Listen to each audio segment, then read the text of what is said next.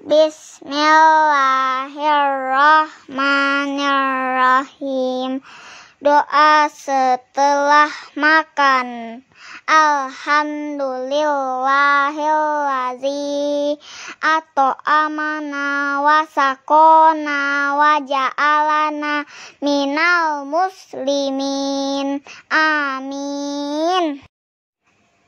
Segala puji bagi Allah yang telah memberi kami makan dan minum serta menjadikan kami termasuk golongan orang-orang muslim.